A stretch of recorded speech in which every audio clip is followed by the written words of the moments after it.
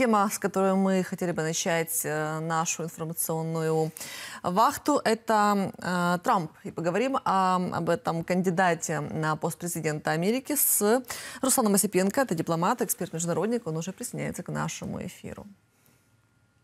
Приветствую. Доброе утро, Руслан. Э, Руслан, смотрели сюжет, и вот э, хочется понять, э, вот эти 355 миллионов долларов штрафа, которые приписали Трампу как штраф, и вот эти судебные процессы, насколько они действительно повлияют на избирательную кампанию, ну и на сам рейтинг и имидж Дональда Трампа? Ну, с одной стороны, э, системные элиты Соединенных Штатов понимают э, фактор Трампа, что он может подорвать демократию изнутри, как правильно было сказано в сюжете, и пытаются, так сказать, его сдерживать через э, суды. Но действительно, я согласен с тем, что сказано было в сюжете, что Трамп это просто делает хайп на, на результатах суда, независимо от того, там они отрицательные или позитивные, и там хайп, и там хайп, и это только прибавляет, так сказать, рейтинга Трампу. Почему? Потому что есть запрос в обществе на популизм. Очень много накопилось проблем в обществе, которые долгое время системными элитами не решались. И Трамп обещает э, простые решения по сложным вопросам. Там, в один день решу украинско-российскую войну, там, решу проблему с границей и так далее. Это нравится э, глубинному, скажем так, народу Соединенных Штатов, потому что Трамп, э, что самое главное сделал Трамп? Он положил на весы, на чаше весов две вещи. Демократию и цену жизни э, обычного гражданина Соединенных Штатов. И это уже преступление. То есть он сравнивает демократию с ее обязательствами, там, внутренними, внешними, да, ценностями, э, с обычной эм, жизнью, так сказать, сколько стоит у вас бензин, сколько стоит, э, будет стоить хлеб там и так далее. Естественно, тут выбор естественен. Люди будут выбирать хлеб, они не хотят разбираться ни в демократии, ни в геополитике, ни в какой-то там внешней политике Соединенных Штатов. И с моей точки зрения, это уже есть преступление, когда вы подсовываете народу вот такие, такие сравнения. И поэтому, конечно, Трампа будут тянуть, народ будет тянуть, и народ будет выходить на демонстрации, когда Трампа будут пытаться элиты сдерживать, народ будет выходить для того, чтобы поддерживать, потому что они считают, что это народный кандидат, который должен сломать вот эту систему а когда э, элиты меняются в руководстве страны между собой, но ничего с их точки зрения, ну, а, глубинного народа, не делают для народа Соединенных Штатов. Они считают, что Трамп придет и сломает эту систему в интересах народа, но они глубоко ошибаются на самом деле. Конечно, прекрасно понимаем, что даже тот же хлеб, о котором говорит Трамп, и зрелище – это неотделимое в американской политике от ее влияния в мире. На этом, в принципе, основана ее экономика и суть национальной безопасности. А, напомню нашей аудитории, что 15 февраля Палата представителей Конгресса э, ушла на каникулы до 28 февраля, то есть никакого голосования за этот э, а, проект закона, который предусматривает 60 миллиардов долларов помощи Украине, не будет.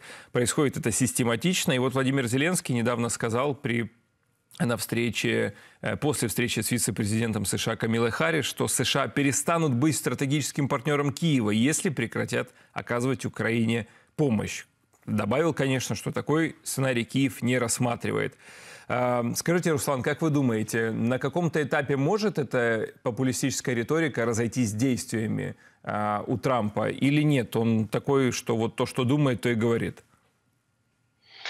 А, я думаю, что все-таки сдержки, система сдержек и противовесов, которая работает в Соединенных Штатах, она окажет какое-то влияние, но не, но не кардинальное не кардинальное влияние. Трамп э, очень импульсивный сам по себе политик, э, непредсказуемый. Это говорят, это не я говорю, это говорят э, многие эксперты, в том числе европейцы это озвучивали. И они уже напуганы приходом Трампа, потому что политика Соединенных Штатов будет непредсказуемая, учитывая его первый срок, когда он там сорвал договора про свободную торговлю с Европой, вводил там экономические барьеры для э, многих европейских товаров, которые поставлялись на, на рынок Соединенных Штатов. Мы знаем историю с требованием по отношению к членам НАТО, странам-членам НАТО, что я не буду вас э, ну, за свой счет, за счет э, налогоплательщиков Соединенных Штатов обеспечивать вам безопасность в Европе, вы сами должны платить за безопасность. В общем, риторика, которая не способствует солидарности, скажем так, евро, евроатлантической. Но есть Конгресс, есть Конгресс. Мы видели, как прореагировал Конгресс, когда э, Трамп заявил о том, что он готов вывести американские войска с европейского континента. Конгресс сразу отреагировал и продемонстрировал, кто принимает решения кардинальные стратегические в стране, запретив э, каким-либо президентам, независимо это будут там демократы или республиканцы, э, единолично принимать решения вот такого плана стратегические там по выводу американских войск, например, э, из, из Европы. Поэтому, да, будут пытаться элиты сдерживать, но учитывая Трампа, который пренебрегает законом и сейчас, и, и ранее, так сказать, ну, ситуация будет непростая, честно говоря. И действительно изнутри, может быть, основы э, демократии, вот эти ценности, на которых она базируется, они могут быть э, подвержены сомнению, скажем так, э, во время правления Трампа. А, вот есть еще такое заявление. Бывший член республиканской партии Шалис Чейни заявил о путинском крыле э, этой политсилы в, э, в республиканской партии. Как вы считаете, вот это путинское крыло, насколько оно имеет э, вес и насколько оно может разрастись? Я считаю, что оно уже себя проявило, это путинское крыло. Я об этом говорил ранее, что Трамп и Путин, они координируют свои действия. Но это мое личное мнение. Посмотрите, почему я сделал такой вывод.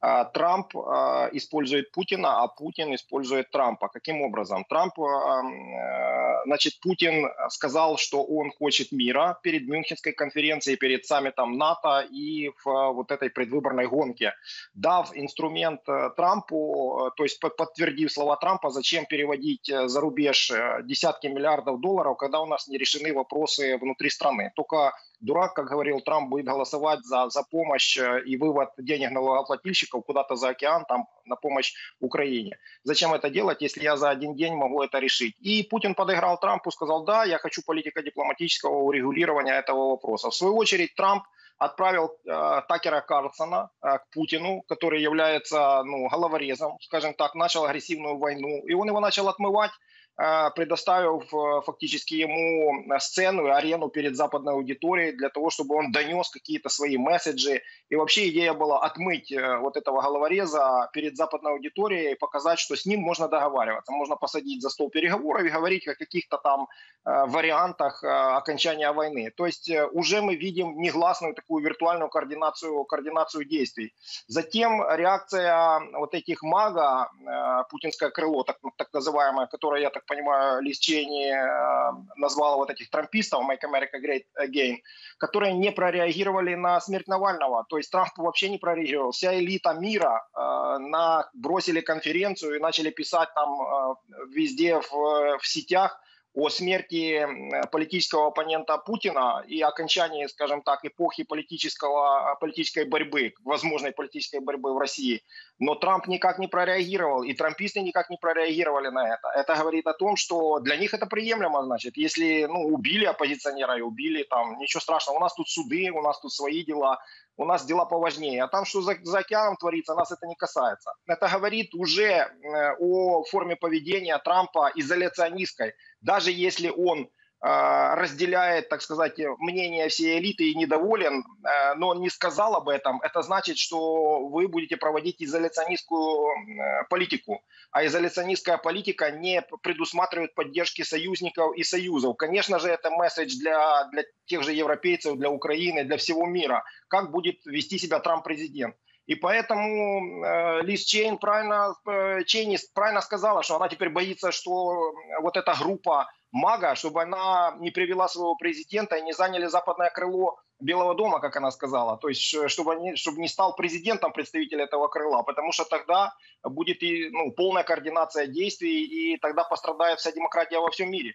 Ну, если смотреть на всю ситуацию, э, знаете, с, со стаканом, который наполовину полный, то Европа все-таки, да, включается активнее с такими месседжами Трампа. Будем в этом видеть определенный оптимизм, потому что они-то точно понимают, что такое российская агрессия, и вот с более, конечно, пессимистическим Э, настроем все это обсуждалось на Мюнхенской конференции, что, наверное, важно, видя реальность. Спасибо вам большое, Руслан, за то, что объяснили важную эту тему в нашем эфире. Э, дипломат, эксперт-международник Руслан Осипенко был в эфире телеканала Freedom. Спасибо. Спасибо.